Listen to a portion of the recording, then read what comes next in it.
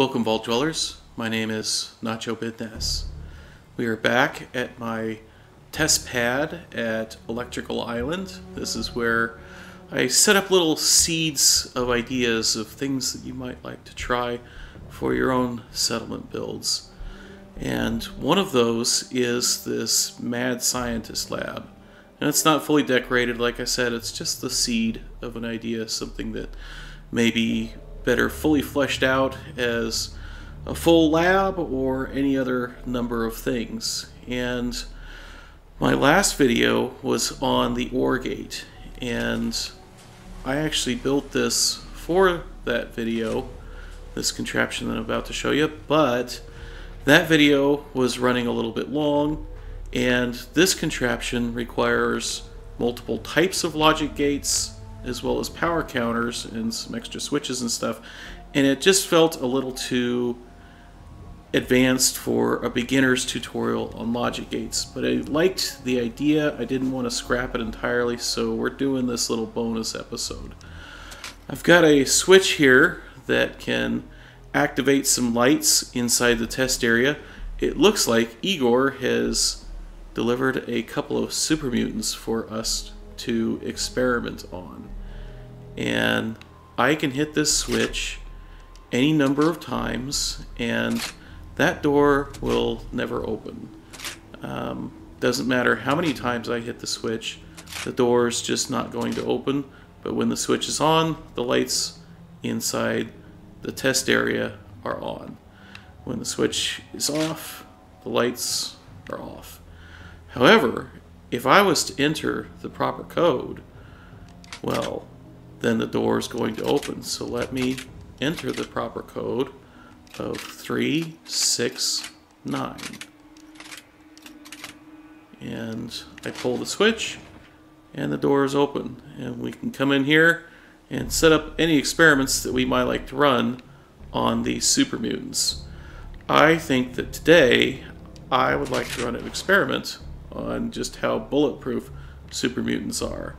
So let's go ahead and let these guys out of the cages Of course, I'm afraid that maybe the door that I have selected is not actually bulletproof. We'll see if my health starts to go down while I uh, while I enter this code.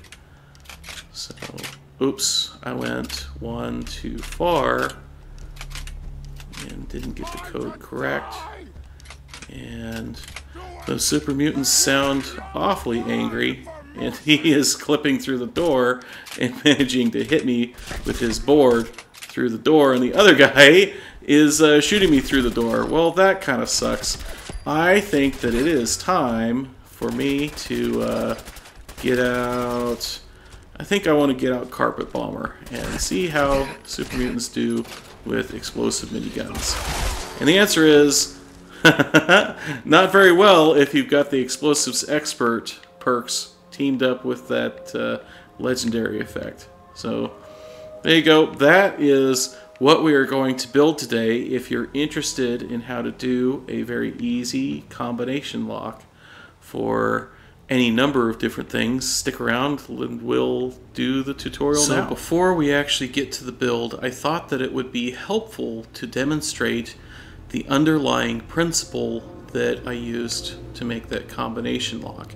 And it's going to be a lot easier to see out here in the open on uh, just a wall. And it uses more than just the OR gate, which is part of why I wanted to have this be its own episode because it's combining a number of different elements of the power system. So what do we have going on this demonstrator to show how this principle works? We've got some input power here that comes to this manual switch and also to this delayed off switch. Those both power the OR gate, so either OR will turn the output on and cycle this power counter. Now the interesting thing about power counters is that they only increment when you add power. And that allows us to use a manual switch as an override for our delay off switch here. Let me demonstrate. So I hit the delay off switch and the power counter incremented and I hit it again and it goes up by one again. Now if I hit my manual switch the power counter went from 4 to 5 but look what happens now when I hit this delayed off switch. Because there's already power on the power counter nothing happens. The counter only increments when you go from no power to having power. So I can use this manual switch to cycle that thing manually. And when the switch is off, I can use the delay off switch. And when the switch is on, when I turn it on, it moves up by one, but the delay off switch doesn't actually do anything anymore. So that is the principle that we're going to use to make our combination. So let's get started building our combination lock. We're going to need several elements to build this and we're also going to want to program some of these things. So I've got some delay off switches. I have three digits for my code, so I'm going to need three of those. And I'm going to have some power counters, and I need three of these as well, and I'm going to separate those and hook up some terminals to each one so that I can power and program them individually. If I tried to program them all with the same terminal at the same time, I would only get one possible number combination this last terminal I can use to go ahead and hook up to all of my delay switches so that I can program those as well. So we'll get out of the build mode and I'm going to make this code 369. I always use that code because it's easy to remember because of the song Grandma Plays the Number on Diamond City Radio. Now, I am using this principle of interrupting a power counter with an OR gate for a combination lock. Excuse me, but it can be used for any number of different applications. For example, you could have an arena that had a few different modes. Um, that was locked out with a master switch in your VIP box, for example. And you notice I set these delay off switches on one quarter second delay, although, oh, let me do it again. Sometimes these delay off switches are just a little bit fiddly.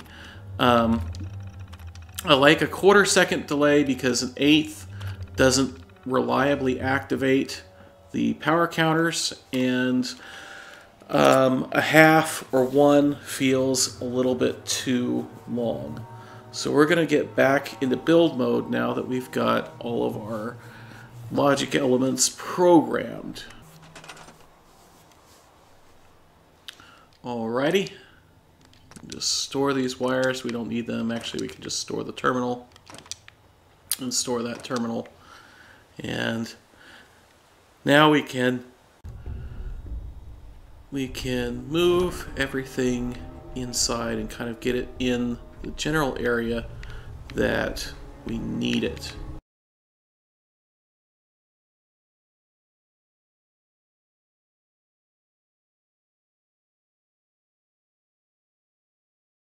Now that we have all of our elements in here, we're ready to start wiring.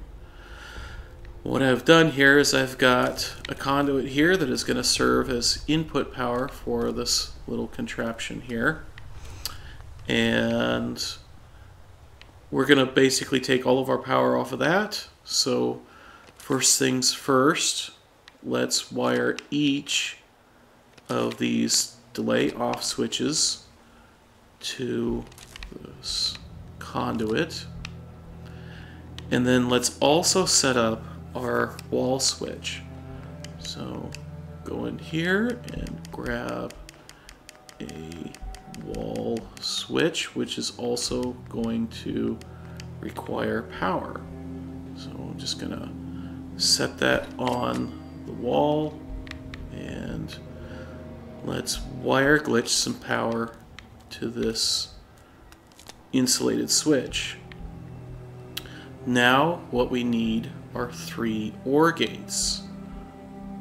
So, and that is going to be essentially the principle that I showed you on the wall over there, except kind of replicated three times. So there's three OR gates. Oops, that was actually three AND gates. I'll store that one. I'm going to need that one. So here we go. Instead, here are three OR gates. And I'm going to take the power from my first delayed off switch to my top OR gate and my second delay switch to my middle and my final to the bottom. And just to make things easier I'm going to set this switch over here and I'm going to wire that switch to each of the OR gates. And this is what's going to allow us to essentially prevent those delay switches from working. So, and sometimes you have to look away, and there we go. Now I should be able to glitch. There we are. Now I'm just gonna go ahead and set my switch back over here. Now clearly you don't have to have place anywhere to do this, it's just faster if you have place anywhere. So now I've got all of my delay switches set up and we're ready for the power counters. And because I want to have make sure that I keep these in the right order so that I don't mess up my code, I'm going to do this and set that there. And I'm just going to kind of set this inside the wall here a little bit like that. And you could probably rug glitch or pillar glitch your way through that if you don't have place anywhere. And put that there. And then this should... Um, let's just get rid of this wall for a second. Now I can take my second digit. Actually, I should have just got rid of that wall to begin with. So, come on, snap to it. Well, it wants to be difficult. Did I turn snapping off at some point? No, snapping's on. Um, we'll worry about making this look good for the demo later. For now, at least, I'm just going to set that there. And I'm going to get my final digit and hook it to the last of the OR gates. So now what we've got set up is a situation where if we have tripped the main switch, the power counters don't do anything. And if we have not tripped the main switch, the power counters will increment every time we push that delay switch. So Gosh darn it, get back down there on the ground where I want you to be. Not sure why those power counters are not wanting to snap together. They usually go pretty easy. And now that we've got the power counter set up, how do we get the door open? That is where we start to chain logic gates together because I am going to use an AND gate to hook all of those power counters together and it does not want to snap. Oh man, this went easier when I practiced it. I'm just going to set that right there. So for this output of this AND gate to be live, think you can see that each of the power counters, the digit will have to be zero. So that's how we set this up to where uh, all the digits have to be correct for the door to open. So I've just wired the output of this AND gate to my door and we are pretty much done with the wiring here. Now is this, there we, there we go, it went in the right spot. Is this a extremely secure combination lock? No, no it is not. Um, but it's it's good enough to keep some settlers or some super mutants where they're supposed to be. So that is enough for me. You can certainly layer many additional functions onto something like this. And I'm going to bring my uh, bring my wall back. And there we are. It doesn't look great right now, but I think you saw in the demo that you can kind of get everything neatened up and looking good. Let's test this and make sure that it actually operates. So I hit the switch and the door does not open. But I set these counters to say 3 and 6 and 9. And then when I hit the switch, door opens, and that's all there is to it. We have just built a combination lock that it doesn't necessarily matter what order you do things in, but it looks good enough for something that uh, that only takes four logic gates and maybe 10 minutes to actually build.